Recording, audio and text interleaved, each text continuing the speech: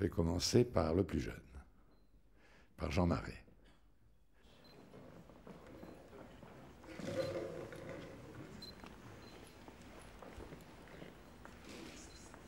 Monsieur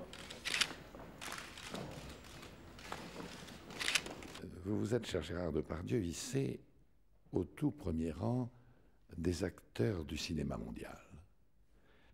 Vous avez des doigts d'or, un regard d'or. Gérard Depardieu, au nom de la République française, nous faisons chevalier